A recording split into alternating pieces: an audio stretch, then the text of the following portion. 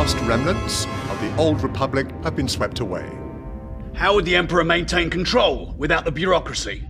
The regional governors now have direct control over their territories. Fear will keep the local systems in line. Fear of this battle station. And what of the rebellion? If the rebels have obtained a complete technical readout of this station, it is possible, however unlikely, that they might find a weakness and exploit it. The you refer to will soon be back in our hands. Any attack made by the rebels against this station would be a useless gesture, no matter what technical data they've obtained. This station is now the ultimate power in the universe. I suggest we use it. Don't be too proud of this technological terror you've constructed.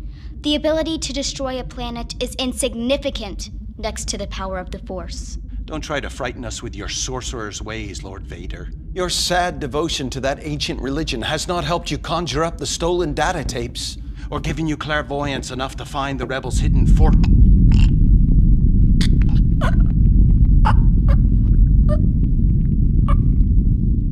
I find your lack of faith disturbing. Enough of this. Vader, release him. Silence! Lord Vader, please! This wasn't on the agenda.